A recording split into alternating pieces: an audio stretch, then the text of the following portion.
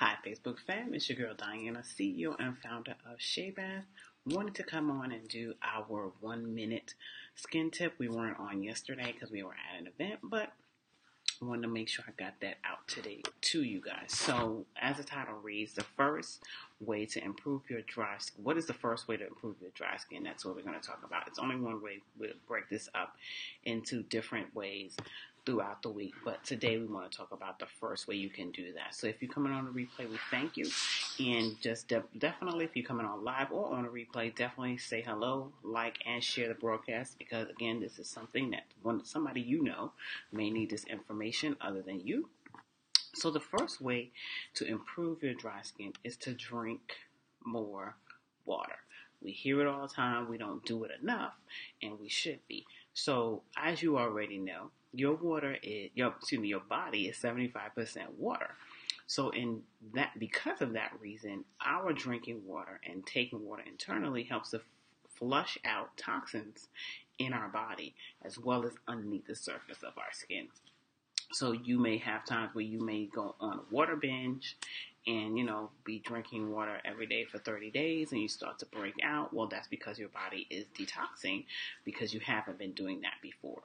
Um, so by drinking water you also hydrate internally as well as externally. By drinking water you help to keep your face plump make sure it's moisturized on top of other things that you should do like put moisture on the outside obviously things like that but what you do on the inside reflects on the outside. So that keeps you hydrated. And the easiest way to do this, of course, is to either drink water as you arise. That helps to replenish the things that you've lost while you were sleeping, or replace one of the beverages that you have during the, the week, the day. So if you know you have two cups of coffee, a Diet Coke, or you drink juice, or what have you, probably replace one of the, the coffees with water. Now, we should be drinking equal amounts of either our body weight or half our body weight, whatever it is supposed to be for you. But you need to replace one of your beverages that you have during the day with water.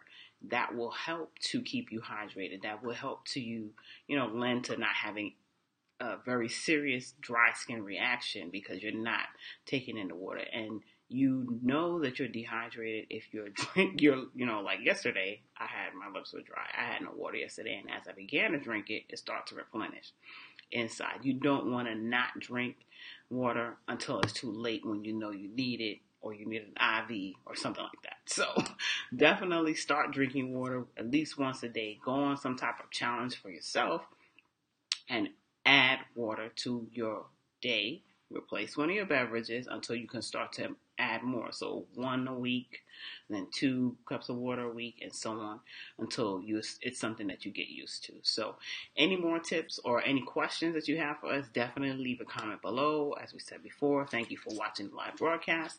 We appreciate all the sales from this weekend. Don't forget, you have your Christmas um, items to buy, and we have plenty of Christmas um, gift sets out there for you to purchase. So again, drink your water it flushes out toxins, which we all have, and you think you don't have, but you do. And um, keep yourself hydrated, even in the wintertime. So there's the tips. We'll come back on tomorrow with some more tips. And if you have any questions, definitely leave a comment below or send us an instant message. Have a great day.